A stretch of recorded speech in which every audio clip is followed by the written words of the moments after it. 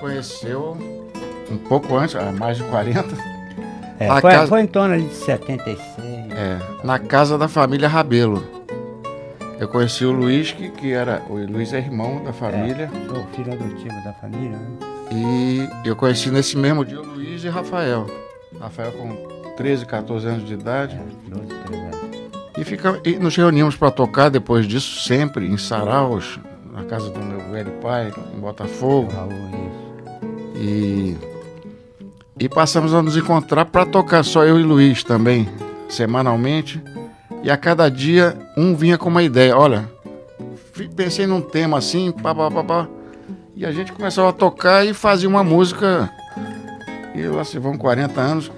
A gaveta tá cheia de músicas, como você deve imaginar. Depois, e depois de feita as músicas, a gente ia chamar o garçom.